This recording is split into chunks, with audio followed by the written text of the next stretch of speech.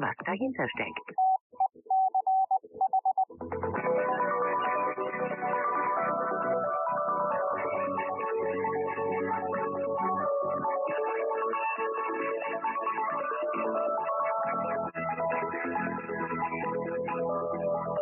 Ja, der Mond und die Mondfahrt.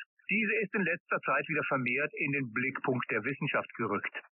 Seit einigen Wochen gibt es jetzt sogar eine Amateurfunkbake auf der Mondoberfläche.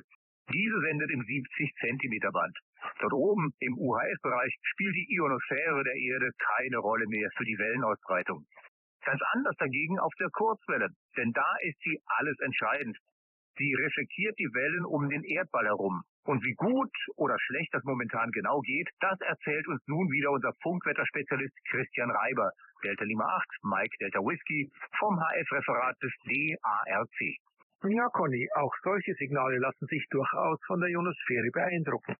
Für ein Zurückbrechen eines Signals zur Erdoberfläche reicht es natürlich nicht mehr, aber ein bisschen den Signalweg verbiegen geht schon. Und vor allem werden Amplitude und Phase eines Signals beeinflusst.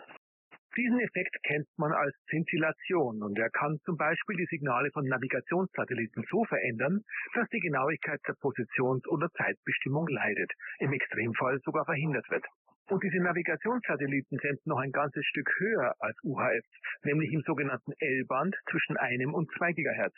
Der Effekt wurde sogar bis über 10 Gigahertz beobachtet. Deswegen werden die Signale von GPS, Galileo und Co. auch von einer ganzen Armada von Bodenstationen gemessen, um feststellen zu können, in welchem Gebiet diese Navigationsdienste wie stark in ihrer Qualität eingeschränkt sind. Das Ausmaß dieser Einflüsse hängt dabei von einer ganzen Reihe von Faktoren ab, zum Beispiel von der geografischen Breite.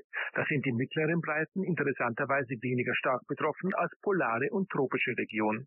Daneben gibt es tägliche und saisonale Veränderungen und einmal mehr mischen auch die geomagnetische Unruhe und die Sonnenaktivität mit.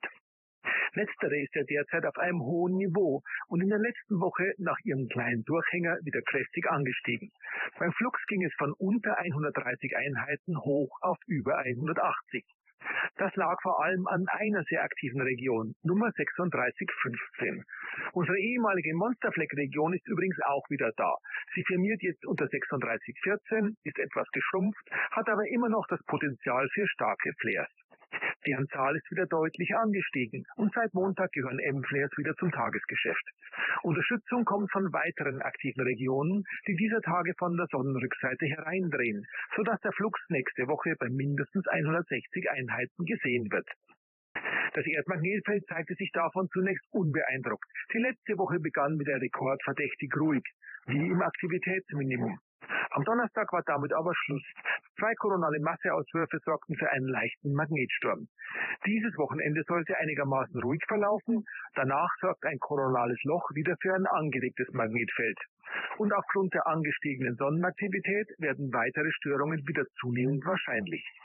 Die mittägliche Luft bleibt bei oder über 30 Megahertz, aber eine leichte Abwärtstendenz deutet sich bereits an. 10 Meter braucht nach Sonnenaufgang zwei bis drei Stunden, um zu öffnen. Die mittleren Bänder bleiben dafür abends länger nutzbar.